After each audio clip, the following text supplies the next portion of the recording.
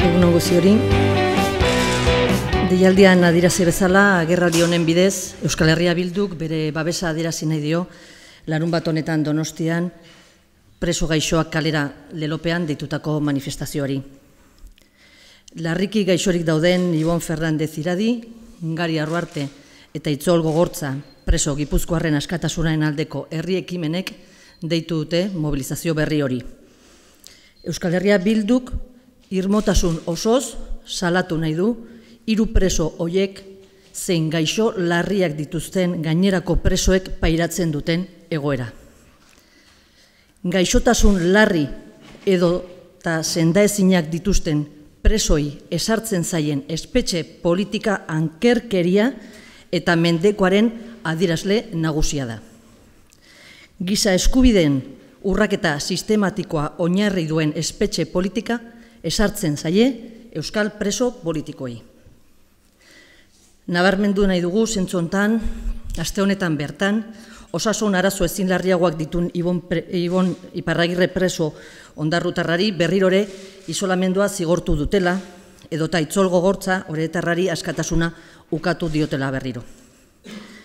Kasu horiek agerian uzten dutenez, mendekoan eta giza eskubiden urraketa sistematikoa oinarri duen espetxe politika pairatzen dute euskal presoek. Ankerkeria eta mendekoa ez da ordea beraien mugatzen.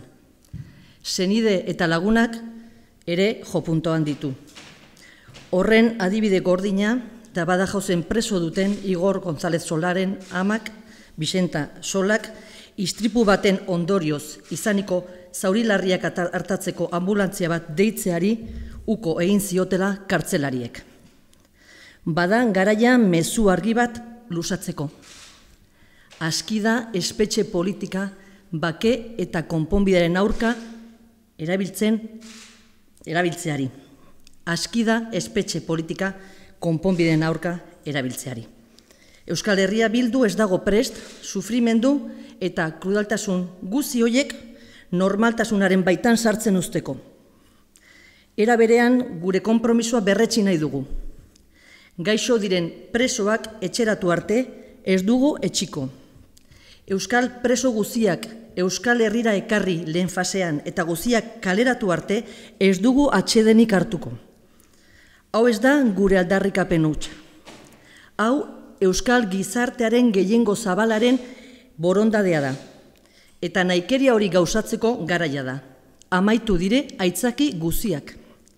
Horregatik, herritar orori dela luzatu nahi diogu, larun batean burutuko den manifestazioarekin bat egiteko, eta era berean presoen eskubiden aldeko dinamika zabala bidarkatzeko.